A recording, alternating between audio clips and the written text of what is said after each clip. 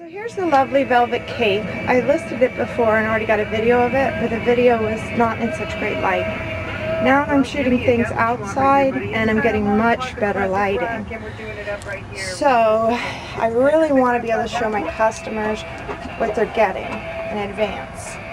Clearly this cape is in excellent condition. Um, it's not the kind of velvet that gets messed up. It's a really, really soft, high, qual high quality velvet.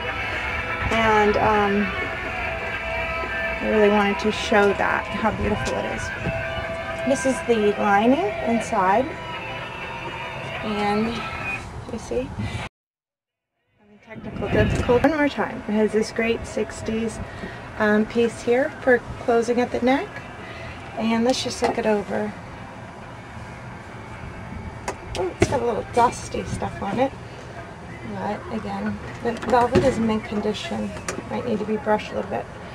It has this seam here in the back.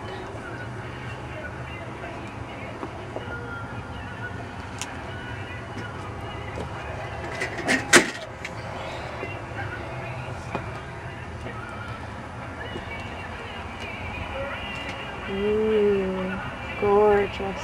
Very glamorous. Love this. Okay. So psychedelic rocker chick, almost famous. Um, look at the pattern and the angel flare sleeves on this number. Really unusual.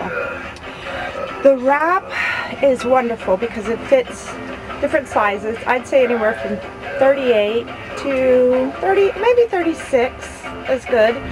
Um, and then it would depend on how baggy you like to wear your clothes. If you'd wear it like at 34,